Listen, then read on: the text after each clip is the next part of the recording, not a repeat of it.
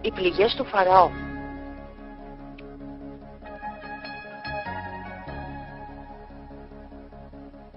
Τετρακόσια χρόνια ο λαός του Ισραήλ ταλαιπωρείται στην Αίγυπτο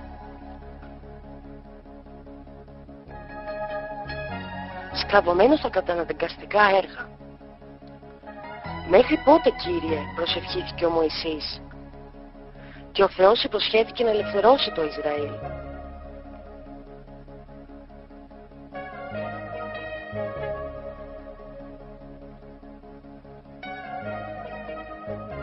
Ο Μωυσής μαζί με τον αδερφό του τον Αρών ήρθαν στο παλάτι.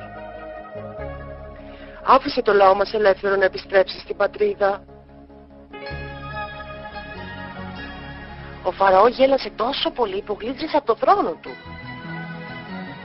Ο Αρών έριξε το ραβδί του στη γη και μεταμορφώθηκε σε βίδι.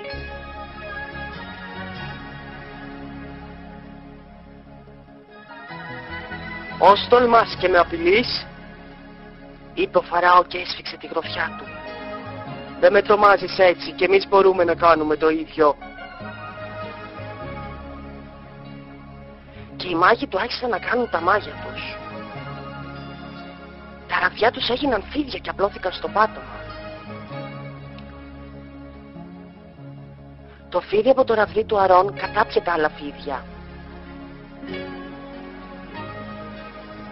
Ο Θεός τρόπιασε τους μάγους και δόξασε τους ανθρώπους του.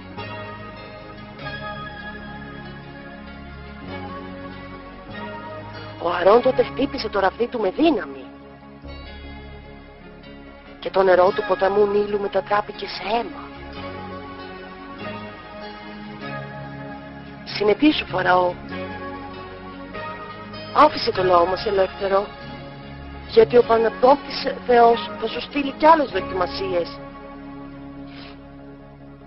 Γέμισε ο τόπος από βατράχους που χοροπηδούσαν παντού. Το πρωί κακέ βασιλιά θα δεις τα σύννεφα από τις μύγες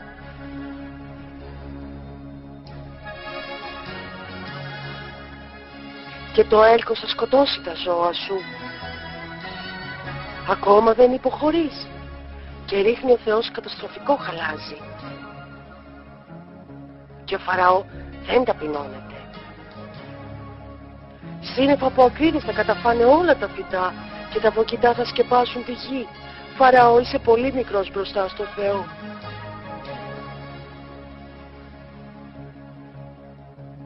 Και άλλες πληγές θα ρίξεις στην Αίγυπτο και τα πρωτότοκα παιδιά σας θα θανατωθούν.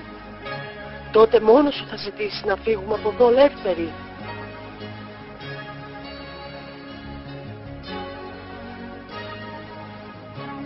Και έγινε το θέλημα του Θεού. Ο λαός ακολούθησε το Μωυσή στην έξοδο.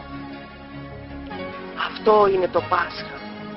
Δηλαδή το πέρασμα από τη σκλαβιά στη ζωή και στο φως από τη χώρα της αμαρτίας στη Βασιλεία του Θεού.